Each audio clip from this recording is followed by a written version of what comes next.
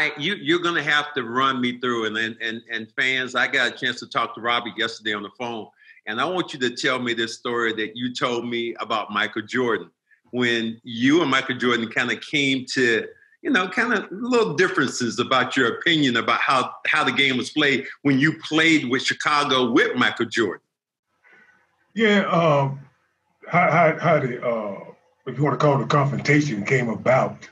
Uh, Phil was alternating players, you know, second team on the first team, first team on the second team. And so I started, we scrimmaging, we played like six games of, of uh, going to five points.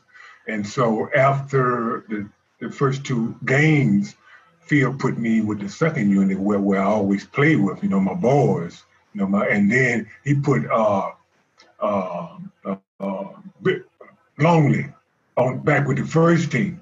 Luke Longley, that's his name. And so we proceeded to kick their butts like four straight games.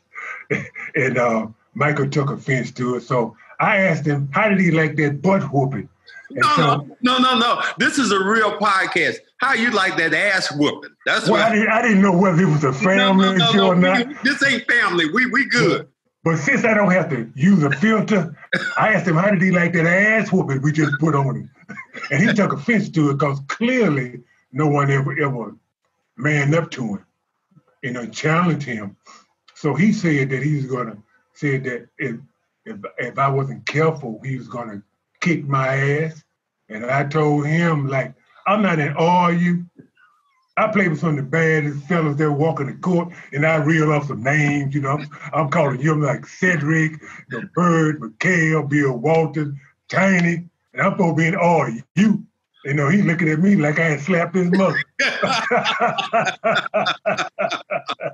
I, I, love that story. Then you went even further, and I think you talked about one of the rookies came over to you and said, "Man, I can't believe you talked to Michael like that."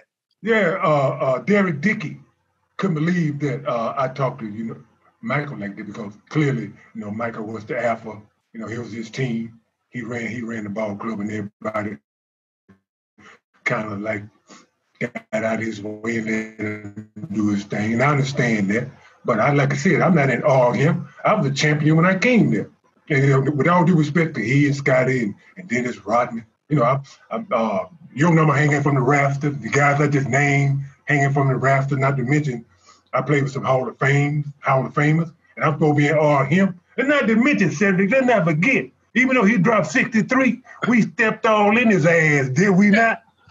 I rest my case. I, I, you know, I absolutely love that story because I, I, people for a while have been talking about, well, Michael Jordan was a bully. And I said, I remember when we played with the Celtics during the 80s, we didn't have nobody who was a bully. We no. were just like a, a team that, you know, if we had anything to say to each other, we said it, but there was never any confrontation. We just went on and played. Well, you, you well, you know for yourself, uh, Cedric. Everybody got their own style and and the way they lead. You know, Michael was in your face. He challenged his teammates, and as you know, uh, Larry was our leader, but Larry led by example. You know, he wasn't a vocal leader. You know, he let his play dictate how we should play, and I think I think uh, Larry's uh, style and philosophy makes the best leaders. Because if you are yelling and screamer, after a while, your voice falls on deaf ears, and the players just kind of kind of tone you out. You don't hear what you got to say. So I, I respect both uh, leadership styles, but I prefer uh, Larry's style the best. Because you know, some nights you know you don't want to hear what what he got to say. You know, speaking of um, uh, Michael, he all up in your face talking trash. You know, he might get a short right, Max. You. I'm just gonna tell it like it is. Tell it like look. I'm gonna tell it like it is. This, this, is what this job is about. This is why yeah. this is why I wanted you on my podcast just to tell it like it is. Yeah. Now, Horace Grant did something the other day on Bet Online, and they they were doing a segment, and they talked a little bit more about some of the things again about Michael Jordan. Mm-hmm. And all you hear is it is seem like it's a conflict because on one hand Horace Grant, who was there. On another hand, you were there. the story seems to be a little bit different than just Michael Jordan being the nice guy who just wanted to win. It seems like it was a lot about Michael for Michael's sake. Oh well, you you you know uh, uh, how the uh, hierarchy plays, uh, Max. You know, the, the, the bigger the talent, the more tolerance you have for that talent. You know, uh, that old saying, we all we all treated the same, but we treated differently.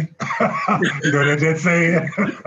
Your fish, yeah. Yeah, exactly, exactly. So uh, uh, Michael uh, definitely could could uh, wear on you because he has such a strong personality, very vocal. You know, uh, almost to the point of com- being confrontational because he get right up in your personal space, talking trash. So I tell you what, I'm glad I wasn't a teammate.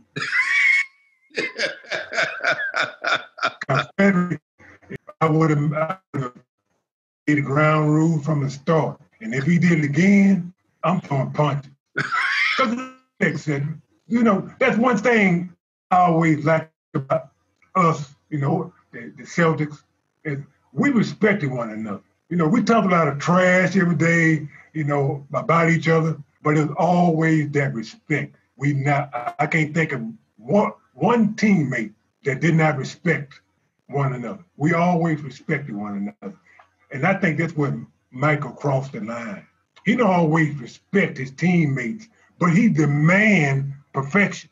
I feel like if you're going to re- re- demand perfection, which is impossible to do, by the way, you got to give some respect.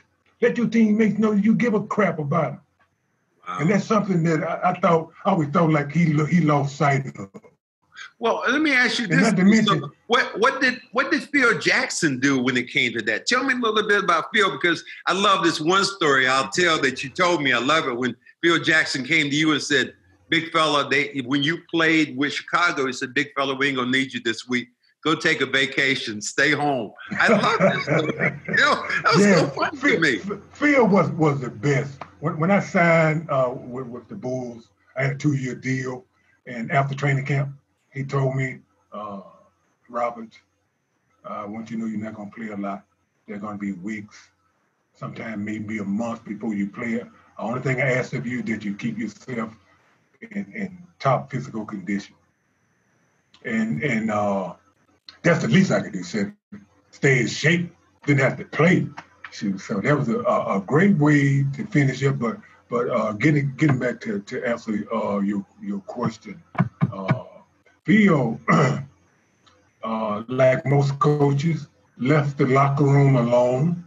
He let the players figure out uh, the hierarchy, how the, how the locker room was going to be governed. And uh, I think in, in Michael's case, there was a mistake because he just took it and ran with it because he bullied uh, those guys. And, and, and you know what, Cedric? What, what bothered me about that? They didn't have the balls to say nothing about it, the teammates. Man said there's no way we'd, we'd have took that from Larry. There ain't no way, Max. Come on now, you know it's true. There ain't no way we would have tolerated that behavior from Larry. And he was our leader. No way we'd tolerate that. that you know what I mean?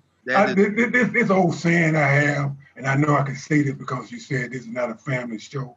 It bothers me, man, you know, the ass kissers. That bothers me. Only time you should kiss some butt, Cedric, is doing sex. That's it.